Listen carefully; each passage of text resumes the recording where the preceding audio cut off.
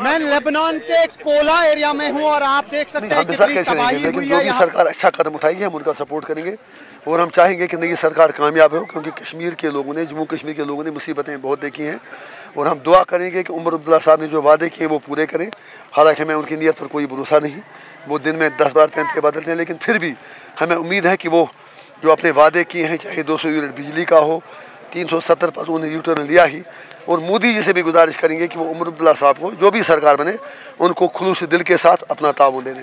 तो वो तो मेडिकल कॉलेज का जो मेन कम्प्लेक्स है उसकी कंस्ट्रक्शन के इश्यूज़ है उसमें कुछ पीछे गया थी। हम मंडे ट्यूसडे को इंशाल्लाह रिव्यू मीटिंग कमिश्नर साहब के साथ ले रहे हैं। तो उसमें जितने भी इश्यूज़ थे इंशाल्लाह उनका हल निकालने की कोशिश की। हुकाम साथ में थे।